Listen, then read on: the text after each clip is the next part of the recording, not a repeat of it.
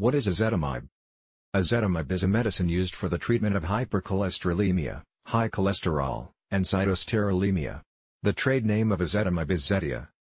Ezetimibe mechanism of action selectively inhibits intestinal absorption of cholesterol and other related plant sterols.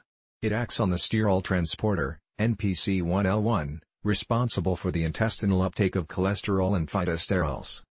Therapeutic indications, uses and benefits of ezetimibe.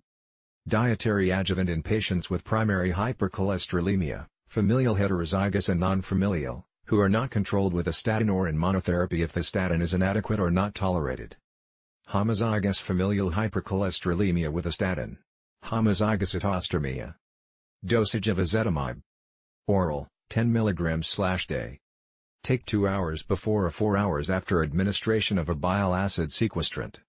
Warnings and precautions with ezetimibe. Children 10 to 17 years, limited experience. Not recommended in less than 10 years or in girls before menarche, lack of data nor in moderate or severe liver failure. Liver monitoring before and during statin co-treatment. Risk of myopathy and rhabdomyolysis.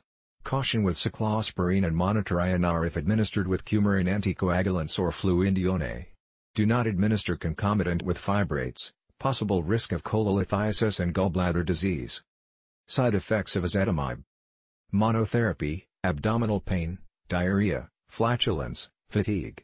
Co-administered with statin, headache, myalgia. Co-administered with fenofibrate, abdominal pain. Contraindications of ezetimibe. Hypersensitivity to ezetimibe. Co-administered with a statin, pregnancy, lactation, active liver disease or persistent elevations of unknown origin of serum transaminases. Please subscribe to the channel to continue uploading videos.